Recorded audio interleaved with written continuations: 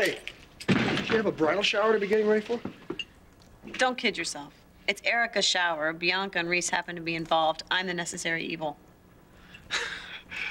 Come on, you're gonna have fun. All your friends are gonna be there. It's gonna be games and jokes and whatever you do at a bridal shower. I don't want to go. I thought bridal showers were part of the whole ritual. They are.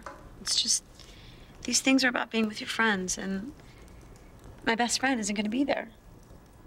I'm sure Bianca feels the same way. It just seems so strange without Kendall.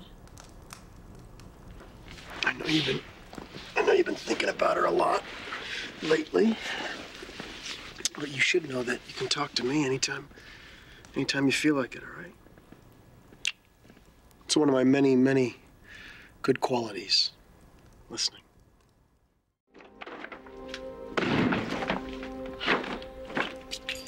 You okay?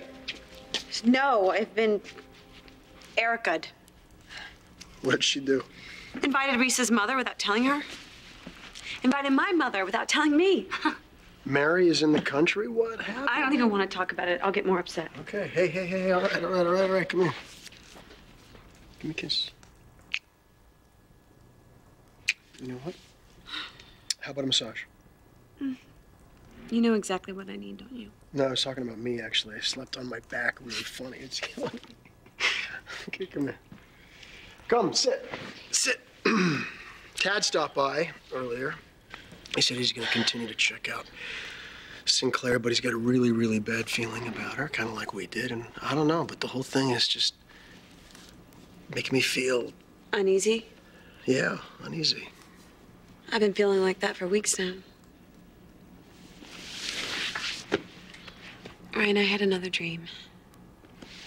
Annie got out and she stabbed you and killed you.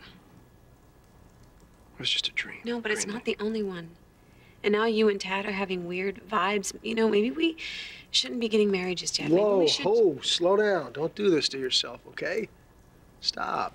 I'm gonna go upstairs and I'm gonna make a nice hot bath with some bubbles. No, I have to do maybe something. can- I have to be somewhere now.